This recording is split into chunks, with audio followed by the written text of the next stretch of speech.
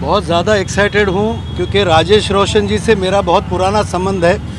राजेश रोशन जी की जो पहली फ़िल्म आई थी, जूली, उसके पोस्टर्स मैंने पेंट किए थे।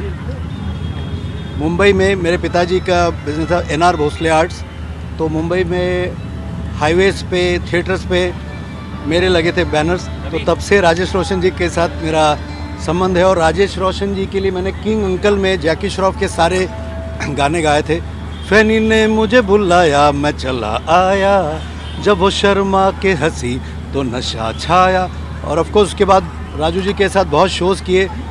The most melodious music director in the industry and आज बहुत खुश हूँ कि मैं राजू जी के और मेरे गुरु किशोरदा के गाने गाऊँगा। सारा ज़माना परदेसिया और अंग्रेज़ी में कहते वगैरह वगैरह। मैं ज़्यादा आपका समय नहीं लूँगा क्योंकि आपके सुपरस्टार खड़े हैं सामने। सारा जमाना सारा जमाना ऋतिक का है दीवाना। जमाना कहे फिर क्यों? बुरा है दिल लगाना। प्लीज़ जोरदार थैंक यू.